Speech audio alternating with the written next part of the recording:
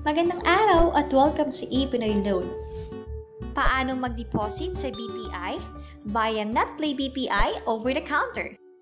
Para ma-activate ang inyong mobile number, mag-deposit ang kahit anong amount sa bank account ng Netplay Inc.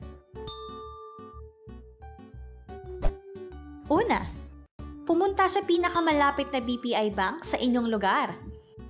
Pangalawa, pumunta at mag-fill out ng deposit sa BPI Express Assess Machine para makakuha ng queue number. Paalala, siguraduhin tama ang details na inyong nilagay sa deposit slip.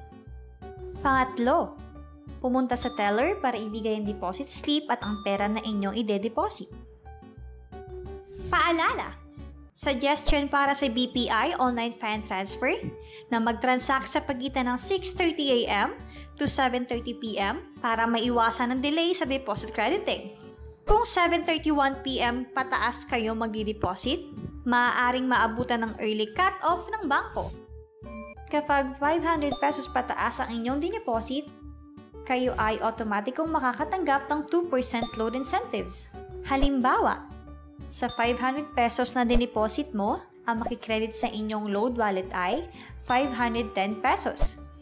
Pang-apat, itay patisan ng syntax na pbuy, space dep, space load, slash bank.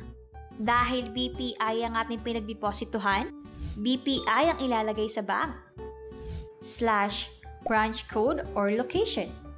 Dahil BPI ang ating pinagdeposituhan, branch code ang ilalagay. Slash amount, slash date. Ang tamang date format ay month, date, year. Slash time. Ang tamang time format ay military time. Slash reference number. Paalala, incomplete deposit details will be rejected. Panglima, Send to gateways or any GSM modem numbers. Kapag naka-receive na kayo ng ganitong message, ibig sabihin nito ay credited na ang load wallet sa inyong account. For more info, visit our website and like us on Facebook. Thank you!